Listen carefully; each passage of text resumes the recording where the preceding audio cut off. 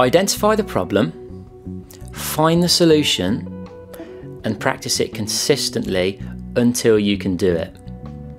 This is my overarching approach to getting better at the guitar. My name's Aaron Carrington, and in this video, I'm going to share with you more about this approach and also how you can apply it to the following four areas, addressing one specific problem in each. And those four areas are chord changes, bar chords, scales, and strumming. Let's first of all address the approach itself and some thoughts that you might want to contend with with this approach. Identify the problem.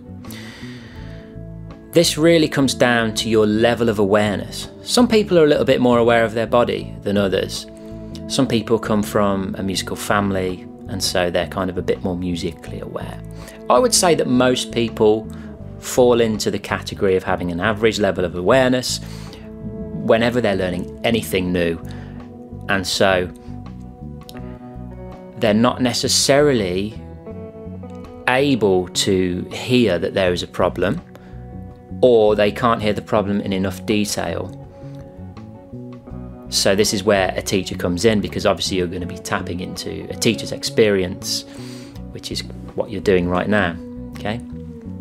The next step is finding a solution. Again, this is the reason you're on this video because you're seeking solutions, so kudos to you for doing that. But maybe, again, a teacher is something that you can consider here. If that's not something that you want to pay for or can afford, then perhaps consider saving up for an online course. But you really need someone to be able to give you the correct solution because that feeds into the third part of the approach, which is practicing it consistently until you can do it. If you're practicing consistently but you're not quite practicing the right thing, then you're going to be consistently practicing something that's kind of substandard or not really serving you very well, and it's not going to be as efficient and you won't reach your goal as quickly. And that last one, by the way, practicing it consistently, that's where most people tend to fall short. They struggle to find that 15 minutes per day that they can spend on their guitar playing You've really got to think long term, okay? I always say it's about months and years, not days and weeks, but you've got to be consistent with that practice. So, how can we now take this approach and apply it to the four areas we talked about? Let's start with chord changes. Now, as far as chord changes are concerned, what I generally see is people can grasp chords, right? They can get chords and they can make them sound relatively clear. And I'm talking really about these standard open chords. So G, D, E minor, and C, let's say. But sometimes what people will do is they'll continually try to practice those four chords in that order.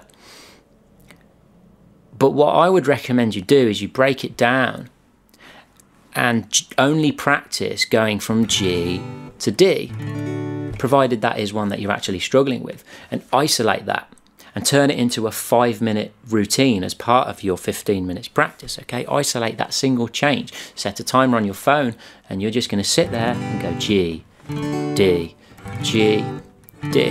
You might even try it without actually strumming the chord. You might just do the fingerings of each chord and just watch that left hand carefully and pay very careful attention to where those fingers are going and try to visualize, try to place little dots on those locations because all of that is going to contribute towards the speed at which you can do the chord change. So I'm hoping you can see that we've identified a problem, found the solution, and now we have to practice it consistently until we can do it.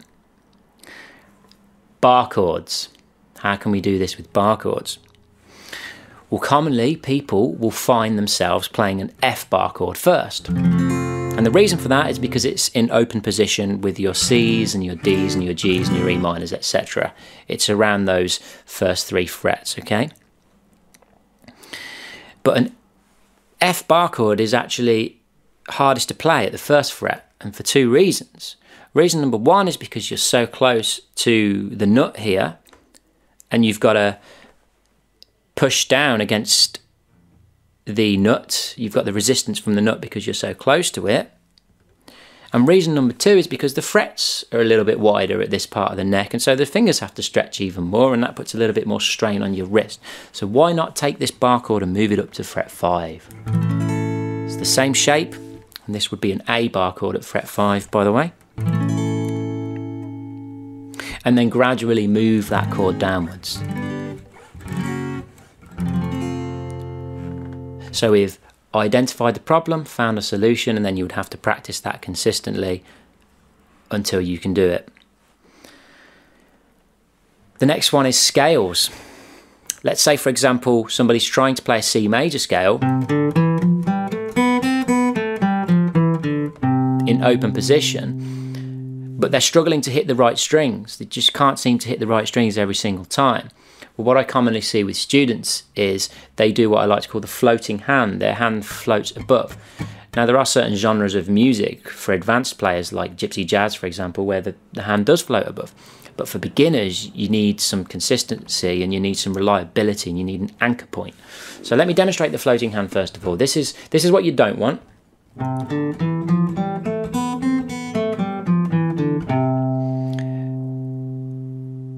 What you want to be doing is putting your part of your hand here onto the bridge and that provides you with a solid anchor. So as you're playing the scale, your hand isn't moving around in midair like it would be if you had it in this floating hand position. Another reason not to do the floating hand is because you get lots of additional string noise as well, and you'll, you'll notice that more on an electric guitar through an amplifier, you'll notice lots of additional string noise. Whereas if your hand is on the bridge, and just dampening the start point of the string slightly, you'll get a lot less string noise. Your playing will be a lot, lot cleaner. And the last area to address is strumming. So with strumming, people commonly strum quite stiff if you know, strumming seems to fall into one of two camps, or at least it does at the moment with current students. They're either really struggling with it or they're just able to do it and they just get that wrist motion. So, strumming wants to come from the wrist.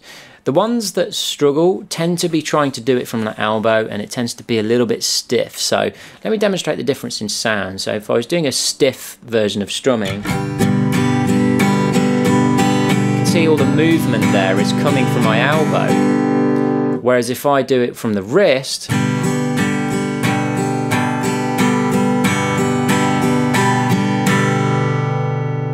can see quite clearly that there is a rotation of the wrist that's happening.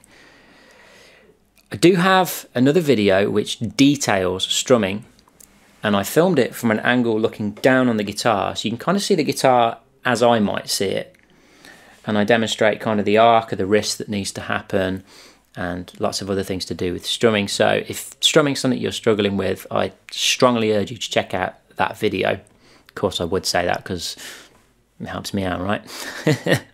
At least I'm honest about it.